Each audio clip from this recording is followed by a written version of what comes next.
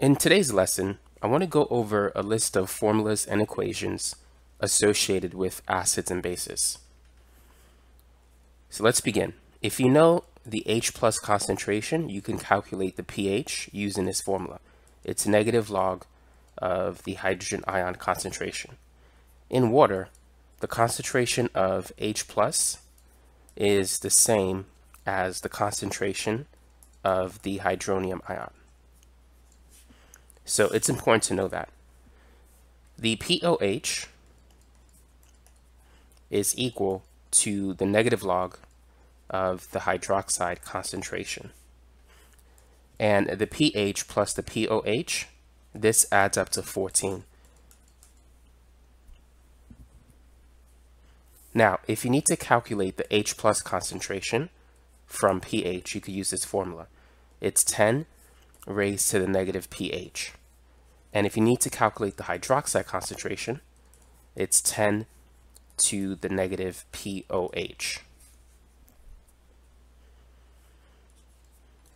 Now, the concentration of H plus times OH minus, this is going to equal 1 times 10 to the minus 14, which is equal to the autoionization constant of water, Kw.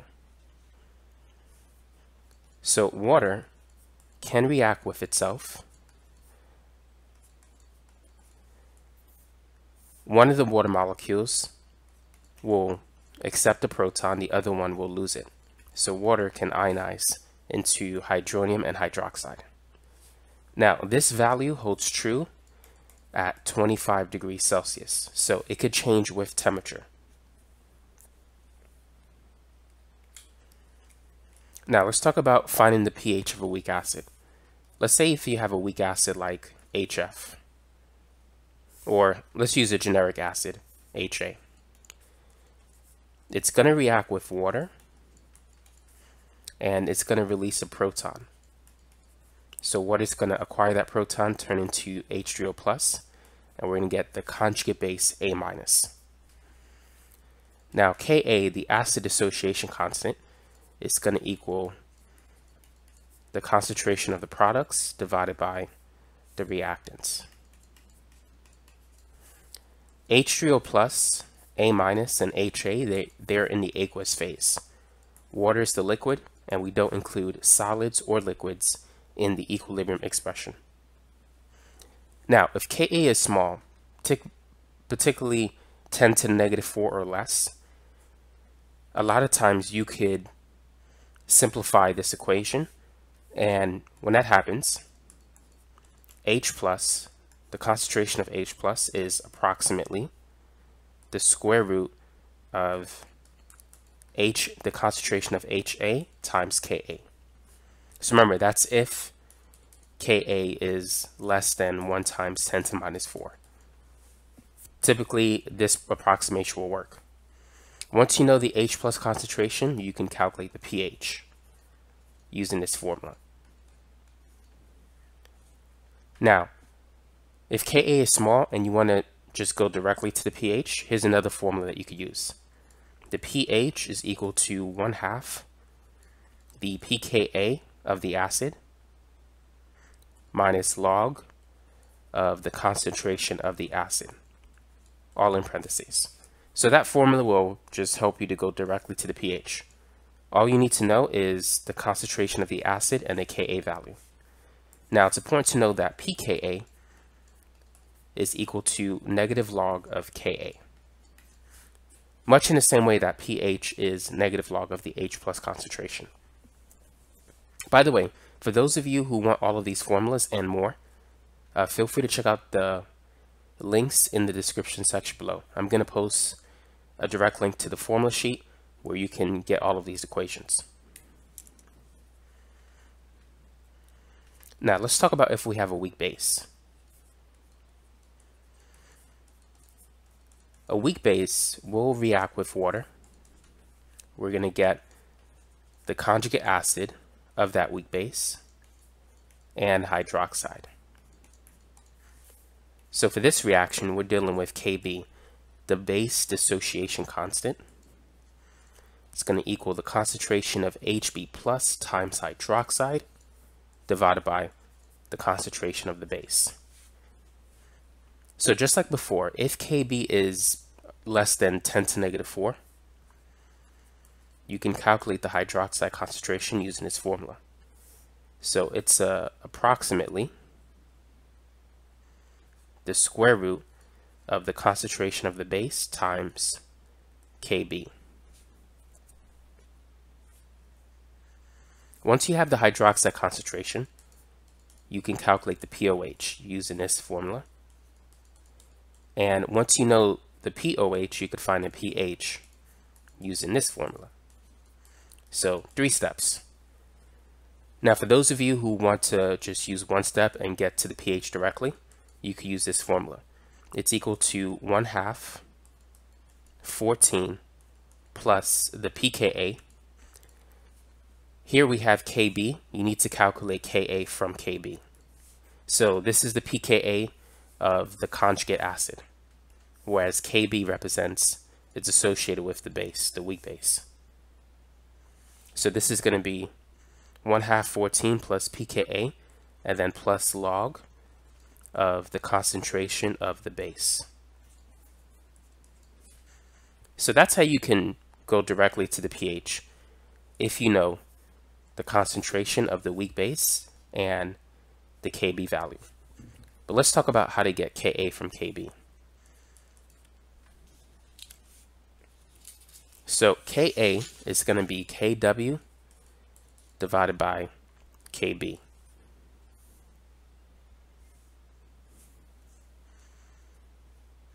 And Kw is 1 times 10 to negative 14. So that's how you can calculate Ka from Kb. And once you have Ka, you could determine the pKa. So let's review those formulas again. So we said that the pKa is equal to negative log of Ka. Likewise, the pKb is equal to negative log of Kb. Now, the pKa plus the pKb equals to 14, much in the same way that pH plus pOH is 14. If you need to calculate Ka from pKa, you could use this formula, and Kb is equal to 10 to the negative pKb. And as mentioned before, Ka times Kb is equal to Kw, and Kw is 1 times 10 to negative 14 at 25 degrees Celsius. And again, you can find all of these formulas in the formula sheet down below. Now, let's talk about a buffer solution. If you have a weak base and the conjugate weak acid, you have a buffer solution. The pH of a buffer solution is equal to the pKa plus log base over acid. Let me write this differently.